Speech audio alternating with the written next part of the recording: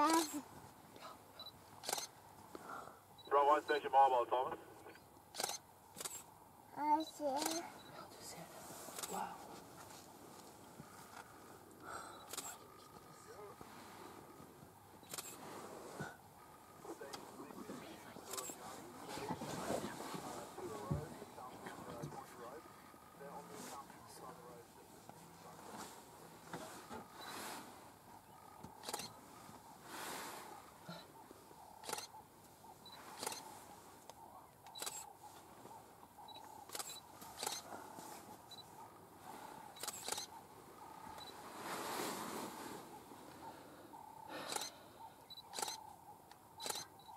he's trying to.